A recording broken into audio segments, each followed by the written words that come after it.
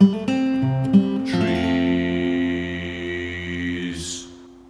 Hello tree lovers! Today we're going to have a look at the lime tree.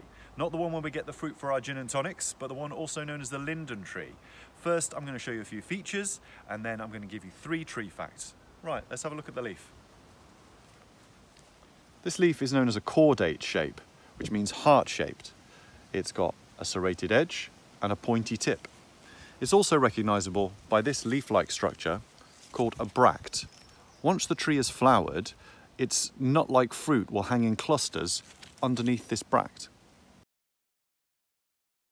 Okay, your three tree facts are one, Vikings used to make their shields out of lime tree wood because it's light to carry, it doesn't split, and when a sword hits it, the fibres bind around it, which stops the sword from penetrating through the defence.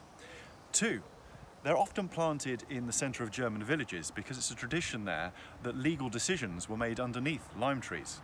And three, if you've come back to your parked car and found it covered in a sticky stuff, uh, you've probably parked it under a lime. It's not the tree itself that does this, it's the aphids that live on the leaf. They produce a honeydew-like substance which then rains down onto whatever's beneath it. Okay, till next time, take care.